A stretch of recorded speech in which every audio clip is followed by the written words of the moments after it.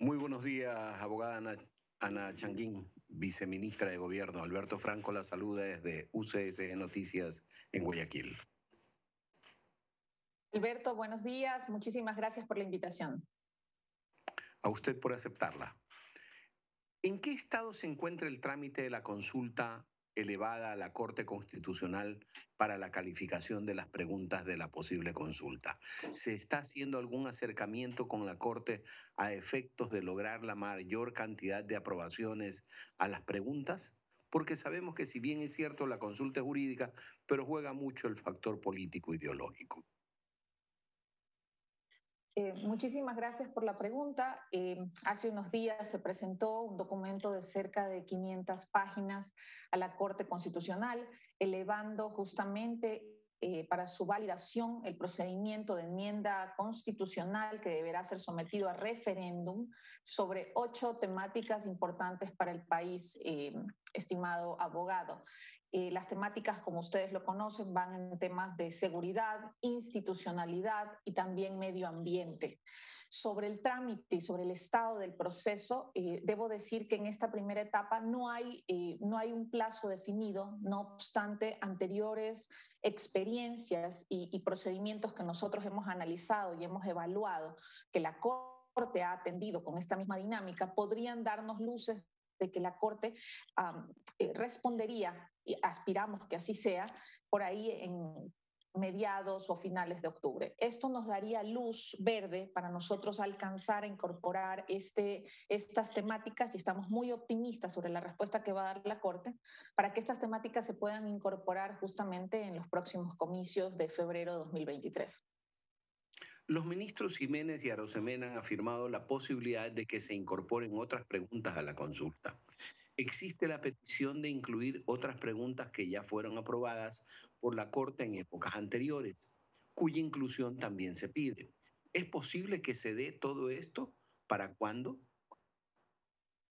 Sí, eh, esto lo ha anunciado el, señor presidente de la República. Eh, hay temáticas que están siendo analizadas para incorporarse en una segunda etapa eh, como parte de una consulta popular. Y aquí, abogado, tal vez diferenciar para los radioescuchas, que a veces son términos que, se suelen confundir. Pero recordemos que ahora mismo se está validando un procedimiento de enmienda constitucional, pero que si más adelante el primer mandatario propone a la ciudadanía algunas temáticas para consulta popular, eh, recordemos que estas, estas temáticas ya no pasarían por una validación o por una eh, evaluación de, la, de la vía por la Corte, sino pasarían nada más por un control de forma y automático, con la única condición que las preguntas que se incorporen para consulta popular de manera directa ya no serían enmiendas o modificaciones al texto constitucional.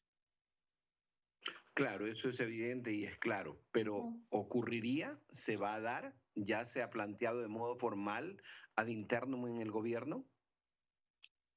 Sí, esa es, esa es la planificación.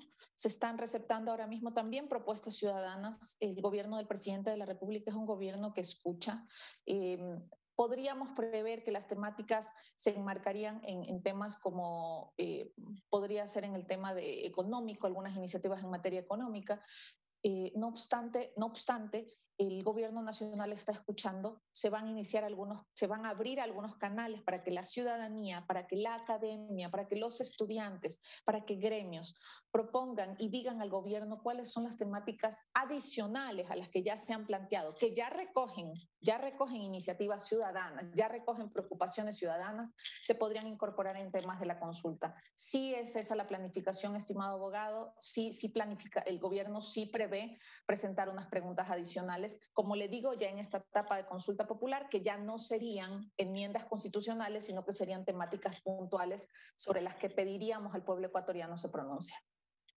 ¿Existe eh, un dictamen previo anterior de la Corte Constitucional sobre una serie de preguntas que estarían prácticamente listas para ser enviadas al proceso de consulta popular?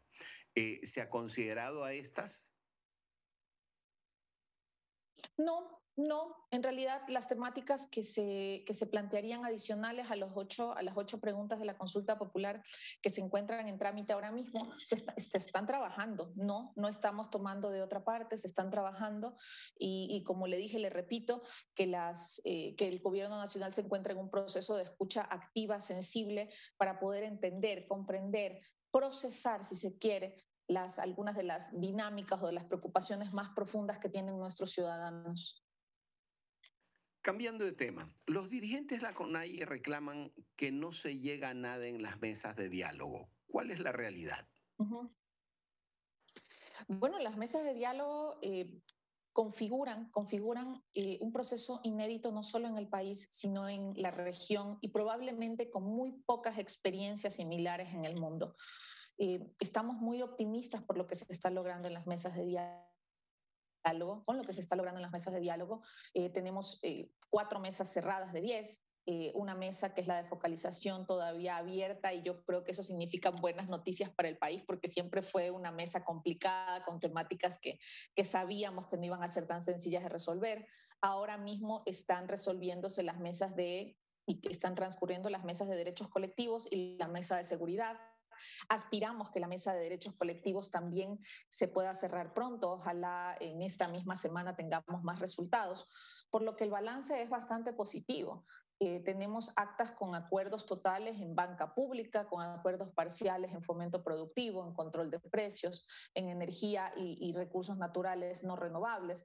Eh, tenemos la, la mesa de focalización aperturada y dos con potenciales cierres en esta semana. Yo creo que el balance es bastante, bastante positivo estimado abogado, por lo que eh, pensar, y yo comprendo, quiero ser muy respetuosa con las declaraciones que hacen los eh, dirigentes de organizaciones sociales e indígenas, pero yo creo que los resultados hablan por sí solos. Las mesas están funcionando, el proceso de diálogo funciona para para las organizaciones, para el gobierno. Hemos hecho propuestas y hemos brindado alternativas con equipos técnicos y con primeras autoridades sentadas y, realmente concentradas, es lo que quiero comunicar, concentradas en proponer alternativas a las peticiones, a los cientos de peticiones que se han hecho, eh, no de manera obsecuente, y en eso quiero ser muy clara, porque el gobierno nacional no puede sentarse simplemente a decir sí a todo. El gobierno nacional eh, tiene la responsabilidad de evaluar y de hacer propuestas en el marco de las competencias de las instituciones y también del marco legal eh, que permite justamente el ejercicio de esas competencias. Se suele pensar que en las mesas, a veces lo he, he escuchado, que en las mesas se está decidiendo cosas distintas, inclusive a las competencias. Jamás, no hay cosa más equivocada. Todo lo que se trata en las mesas eh, pertenece y está enmarcado en las competencias de las instituciones. Em, por eso me, siento muy optimista, me siento muy optimista, creo que el balance de las mesas de diálogo es bastante positivo y, también quiero ser, quiero ser sensible y comprender justamente las posiciones políticas que dan, pero la, la realidad en las mesas creo que habla por sí sola. Muchos sectores ciudadanos le restan legitimidad a la CONAIE para autodesignarse representantes de la ciudadanía y por lo tanto tener la capacidad moral, ética y práctica de rechazar o plantear objetivos de país, así como un amplio desacuerdo sobre la desmembración del país a través de las llamadas nacionalidades indígenas. ¿Por qué no someter esto a la aprobación popular en la consulta? Bueno, es una temática importante, es una temática importante. Em, aspiramos, aspiramos pensar que, que, la, que la cohesión social que vivimos en este momento aumente, que, que los procesos justamente de reagruparnos como sociedad se den. El gobierno nacional trabaja en eso y yo creo que muestra de aquello, estimado abogado, es la, eh, el diálogo franco, el diálogo transparente que estamos llevando a cabo en las mesas. Hay temáticas sensibles, y la puedo vincular con lo que usted justamente me está consultando eh, respecto a la, necesidades, a requerimientos, a sentimientos, si se quiere, del pueblo indígena, que es altamente valorado y altamente considerado eh, por el gobierno nacional. Ahora mismo en la Mesa de Derechos Colectivos, una de las temáticas, por ejemplo, ha sido justicia indígena y el gobierno sin ningún temor, sin ningún temor está abordando esta temática con el mayor respeto y siempre amparado en lo que determina la Constitución sobre la justicia indígena.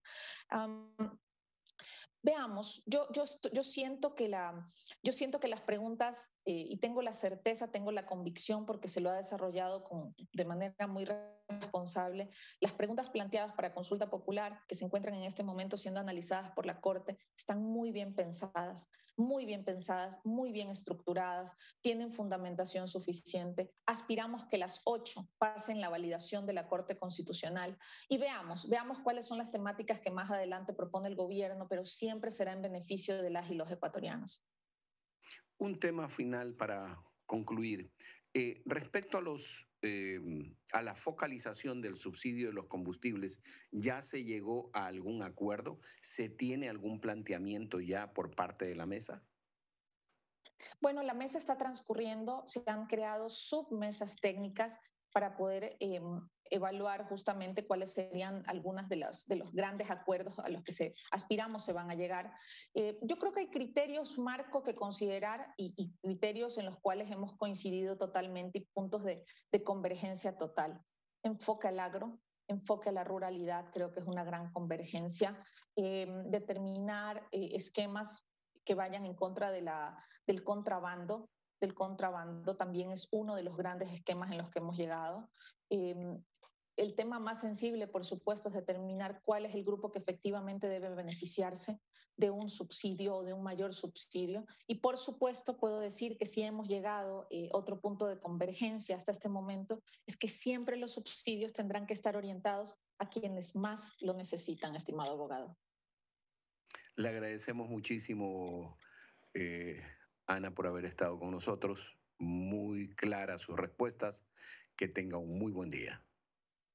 Gracias, abogado. Un gusto estar aquí. Un saludo para todos los radioescuchas y siempre a las órdenes. Estamos a nivel nacional en televisión y en radio. Gracias. Estuvo con nosotros Ana Changuín, viceministra de Gobierno.